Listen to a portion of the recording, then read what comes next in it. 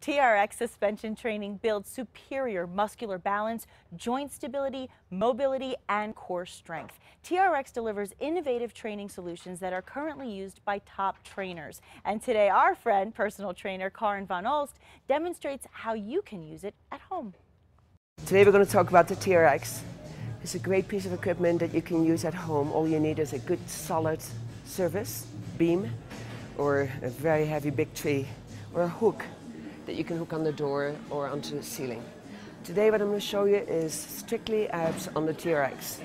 Anytime you use the TRX, you're going to use your core. But today I'm going to show on top of that some things that will give you a ripping six-pack.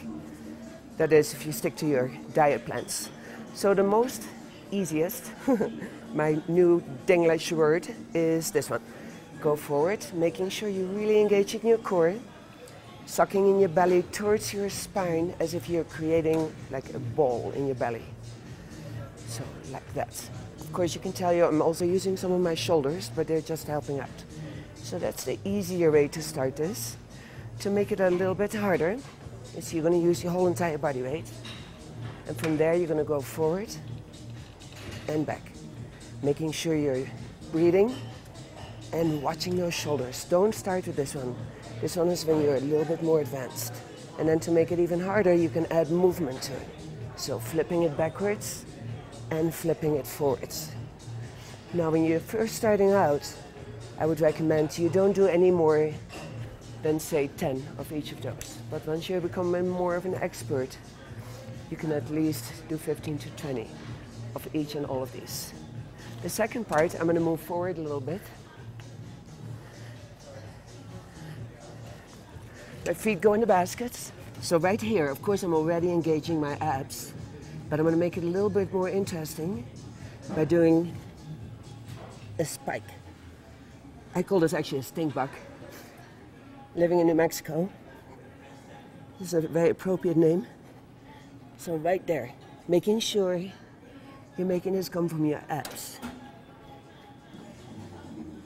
And then another great way to work the obliques is by bringing both sides to one side, hold it, bring it back to the center, other side, hold it, back to the center.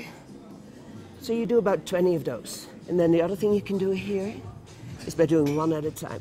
One, two, three. Really working those raised muscles, so to say. Whew. To make this a little bit harder, you can come on your hands and do the same story stink bug. Side to side. It's probably my favorite. This one here. Works all those little areas that are really hard to get to. And then singles. Singles. Really working that waist. Again, when you're starting out doing this, make sure your shoulders are strong enough you're low to the ground and you can of course bail out at any time, but be careful and enjoy it. So this is just for the six pack.